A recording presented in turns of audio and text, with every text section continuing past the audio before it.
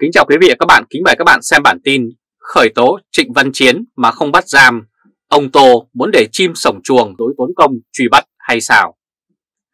Tối ngày 29 tháng 12, thông tin báo chí cho biết Cơ quan Cảnh sát điều tra Công an tỉnh Thanh Hóa đã thi hành lệnh khám nhà với cựu bí thư tỉnh ủy tỉnh Thanh Hóa, ông Trịnh Văn Chiến, tại số nhà 12 Nguyễn Duy Hiệu, phường Đông Hưng, thành phố Thanh Hóa.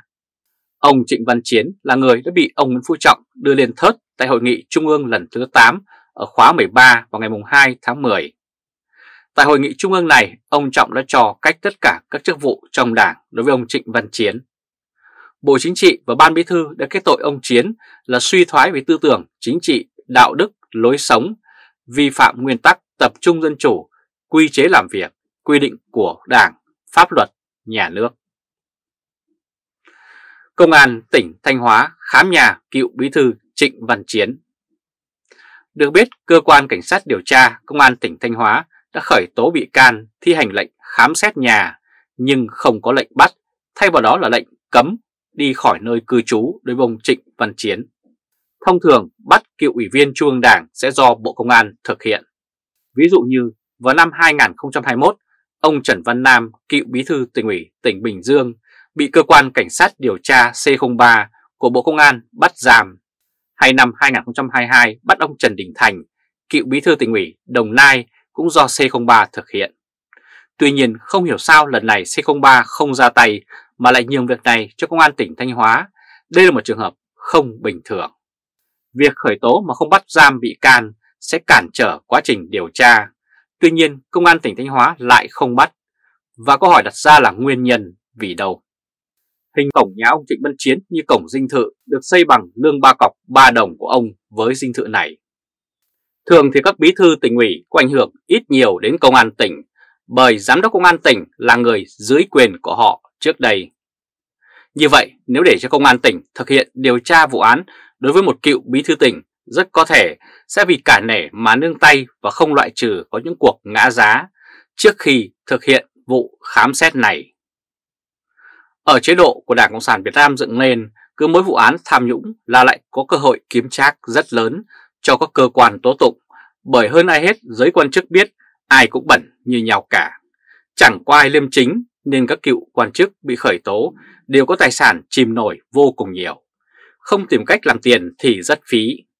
Việc không bắt tạm giam ông Trịnh Văn Chiến mà chỉ cấm đi khỏi nơi cư trú thì Công an tỉnh Thanh Hóa cần tung ra nhân lực đông đảo để mà theo dõi, giám sát tránh việc ông cựu bí thư tỉnh này cào chạy xa bay. Nhưng việc điều một lực lượng đông đảo để theo dõi bị can so với việc bắt tạm giam thì việc bắt tạm giam có nhiều cái lợi. Thứ nhất là dễ điều tra, thứ nhì là giảm nguy cơ bỏ trốn của bị can và thứ ba là giảm được nhân lực canh chừng. Giả sử trong quá trình tại ngoại, ông Trịnh Văn Chiến trốn biệt tâm như Hồ Thị Kim Thoa, Vũ Đình Duy hay Nguyễn Thị Thanh Nhàn, thì Bộ Công an lại phải tốn thêm hàng trăm, thậm chí hàng ngàn công an chìm nổi để mà truy lùng mà chưa chắc đã bắt được. Sự việc bà Nhàn trốn ra nước ngoài đã chứng minh điều đó. Vậy thì rõ ràng việc không bắt ông Trịnh Văn Chiến là không bình thường. Ông Trịnh Văn Chiến, cựu bí thư tỉnh ủy tỉnh Thanh Hóa. Ở đất nước này, người dân gọi công an là lực lượng, luật là tao, tao là luật. Cùng một tội như nhau, như công an không xử lý giống nhau. Với người này thì áp tội nặng, với người kia thì tìm cách mà gỡ tội. Đấy là tiêu chuẩn kép không chỉ ngành công an mà tòa án và viện kiểm sát cũng dùng tiêu chuẩn kép này. Khi cơ quan tứ tụng sử dụng tiêu chuẩn kép thì đấy là dấu hiệu cho thấy sự can thiệp của đồng tiền. Đồng tiền có thể khiến cho luật pháp khi thì bị xô sang phải, lúc thì lại bị xô sang trái, lúc thì lại bị uốn cong vèo. Và khi việc nắm quyền thực thi luật pháp đồng nghĩa với việc nắm được cỗ máy in tiền, thì công an và các cơ quan tố tụng khác sẽ thi nhau kiếm trác. Chẳng có pháp luật quyền nào ở đây cả, bản chất của chế độ này nó là như thế. Quý vị các bạn vừa theo dõi chương trình truyền hình với bản tin khởi tố Trịnh Văn Chiến mà không bắt giam, ông Tô muốn để chim sổng chuồng rồi tốn công truy bắt hay sao? Quý vị và các bạn hãy chia sẻ video này cho nhiều người biết và bấm nút theo dõi YouTube và Facebook của Thời báo .de để luôn được cập nhật những bản tin mới nhất, nhanh nhất và trung thực nhất. Từ Berlin, Cộng hòa Liên bang Đức chào các bạn và hẹn gặp lại các bạn ở bản tin lần tới.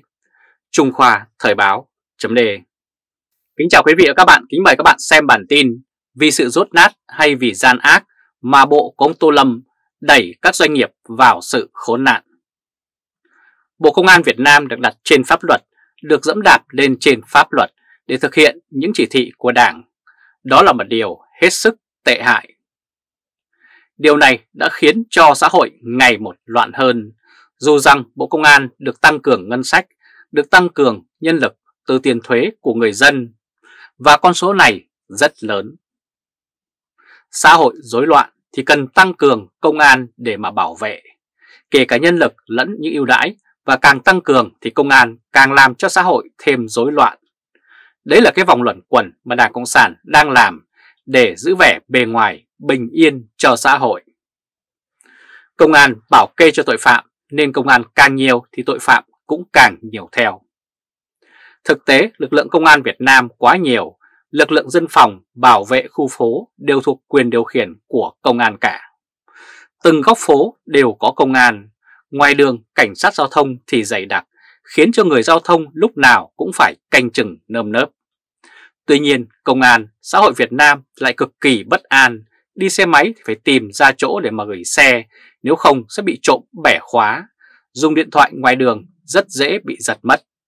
Trong khi đó ở các nước khác rất hiếm khi gặp cảnh sát, nhưng xã hội lại cực kỳ bình yên, ví dụ như Thái Lan hoặc nhiều nước Đông Nam Á khác. Mấu chốt vấn đề là tại sao càng tăng cường cho lực lượng công an thì xã hội lại càng rối loạn.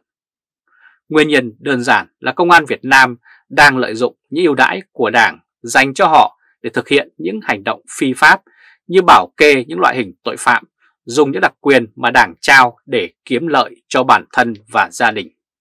Ai cũng hiểu, cảnh sát giao thông Việt Nam dày đặc nhưng toàn chặn dân để mà làm tiền, chứ không vì một xã hội an toàn giao thông. Ai cũng biết cảnh sát phòng chống ma túy của Việt Nam thì rất hùng hậu, nhưng ma túy thì tràn lan, dân ngáo khắp nơi, hút trích. Chưa có nơi nào trên thế giới mà doanh nghiệp bị công an rút rỉa mạnh như tại Việt Nam có một số chủ doanh nghiệp từng gặp vấn đề với công an cho Thời báo chấm biết họ là nạn nhân của công an Việt Nam. Bởi khi có vấn đề mà bị công an bắt, họ không được đối xử công bằng. Họ bị công an, viện kiểm sát và tòa án thi nhau làm án và ra giá ép tội để buộc họ phải chạy. Chạy đến mức kiệt quệ, họ không có quyền được nói chuyện ngang bằng với công an vì công an có quá nhiều quyền lực để áp đặt lên họ và buộc họ phải chấp nhận. Ví dụ trong vụ án sai phạm về đấu thầu thiết bị y tế xảy ra tại Sở Y tế Tây Ninh mà mới vừa được đem ra xét xử.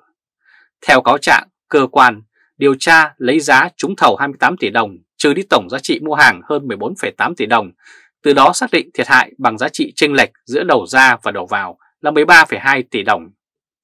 Đây là cách tính rất khiên cưỡng, bởi nếu tính đúng thì công phải cộng vào chi phí như kho bãi, vận chuyển, bảo hành, bảo trì đào tạo và chuyển giao công nghệ vân vân.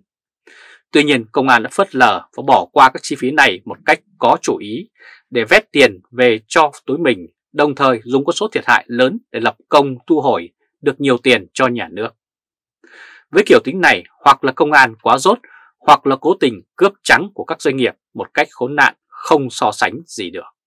Thực tế, công an ăn trên đầu trên cổ doanh nghiệp có đến hai lần Lần thứ nhất công an làm tiền với các bị can để mua bán công lý, gọi là chạy án. Các bị can hy vọng được giảm bớt các tội trạng. Lần thứ hai họ tính giá thiệt hại thật sát theo cách tính vô lý nêu trên, nhằm mục đích vừa để che lấp việc ăn tiền lần thứ nhất đút túi riêng, vừa để phục vụ cho con đường sự nghiệp cá nhân, thăng quan tiến chức, qua thành tích thu hồi được số tiền lớn cho nhà nước. Cho đến nay đã vào tay công an thì không một doanh nghiệp nào còn có thể sống nổi họ bị công an cố tình triệt hạ cho đến chết thì thôi. Ông Nguyễn Phú Trọng càng tăng đặc quyền cho công an thì xã hội càng bất an hơn. Rất nhiều doanh nghiệp bị công an sở tới đều không có cơ hội đòi hỏi được công an đối xử công bằng. Bởi đảng đã trao vào tay họ quyền lực quá lớn. Lẽ ra nếu công an đối xử công bằng với doanh nghiệp thì doanh nghiệp có cơ hội làm lại sau khi đã trả giá cho những sai phạm của họ trước pháp luật. Còn đối với công an Việt Nam, họ triệt hạ doanh nghiệp một cách tàn nhẫn. Hầu như doanh nghiệp nào dính đến công an đều không còn cơ hội gượng dậy, chỉ còn bước phá sản. Đấy là vấn đề hết sức nghiêm trọng hiện nay. Chính công an kinh tế đang lạm dụng quyền lực để mà tàn sát doanh nghiệp kinh khủng. Đó là những nguyên nhân gây ra cảnh giết chóc doanh nghiệp bừa bãi trong nền kinh tế tại Việt Nam. Quý vị và các bạn vừa theo dõi chương trình trực tiếp với bản tin Vì sao sự rốt nát này vì gian ác mà ông Tô Lâm đã đẩy các doanh nghiệp vào sự khốn đốn. Quý vị và các bạn hãy chia sẻ video này cho nhiều người biết và bấm nút theo dõi YouTube và Facebook của Thời báo d để luôn được cập nhật những bản tin mới nhất, nhanh nhất và trung thực nhất. Từ Berlin, Cộng hòa Liên bang Đức chào các bạn và hẹn gặp lại các bạn ở bản tin lần tới. Trung Khoa Thời báo .de